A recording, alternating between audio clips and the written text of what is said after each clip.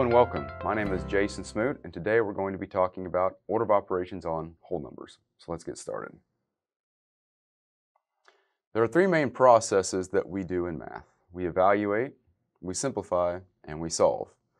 Today's order of operations is going to focus mainly on how to evaluate an expression, although later we will also use this to simplify algebraic expressions. Let's look at this numerical expression, 6 plus 3 times 2. There are really two ways that you could approach this. The first would be to add 6 plus 3 and then multiply by 2, giving you a total value of 18. The other option would be to start from the end and do 3 times 2 to get 6, and then add 6 with a value of 12. So which one is correct? It seems silly to start from the end. We probably need some direction. That direction is going to be the order of operations, or better known as PEMDAS.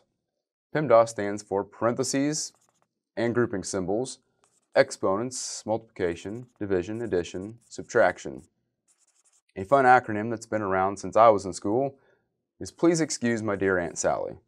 Of course, that works because the first letters of each of those words matches up with those operations mentioned previously.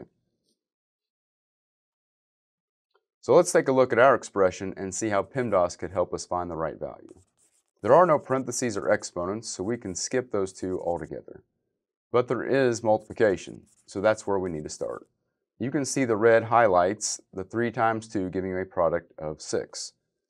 Simplifying that allows us to look at just the sum of 6 plus 6, which gives us a value of 12. So in the end, the value was 12 and not 18 at all. So starting from the end did make sense in this problem. Special case number one. Although multiplication comes before division in PEMDAS, they do not have priority over each other. Uh, we will evaluate whichever comes first in the expression. This is called the left to right rule. So let's look at this example. In this, we see 8 divided by 2 times 7. We will do the division first in this problem because it comes before multiplication in the expression itself. So moving left to right, 8 divided by 2 would be 4. And the product of 4 and 7 gives you a value of 28.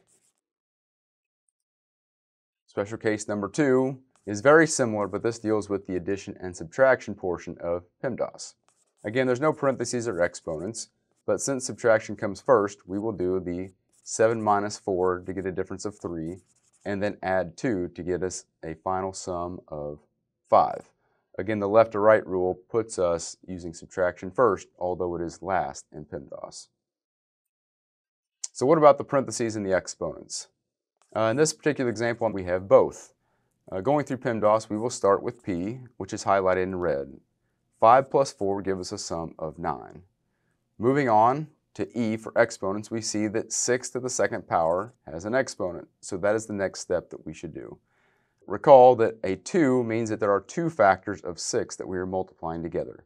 Those factors have a product of 36, which leaves us with the second to last line of 36 minus 9.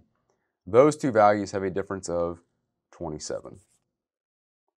So now it's your turn. Here's an expression that has lots of different operators.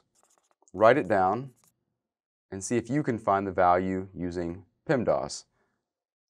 Don't forget Dear Aunt Sally. Wait for it. The correct value is 11. In case you didn't get 11, let's see how we got there. Going through PEMDAS, P stands for parentheses, so in the red box we need to do the division first because it's in parentheses. So 6 divided by 3 gives you a quotient of 2. Moving on, E for exponents, we get a blue box of 2 to the third power. So now we have three factors of 2, which have a product of 8. Moving on, the orange box highlights the fact that we have multiplication. And there is no division, so we can jump right into it. So 2 times 5 equals 10. So the product of 10 falls down, and now we highlight the green box of 9 minus 8. Why? The left or right rule says to do the subtraction before the addition.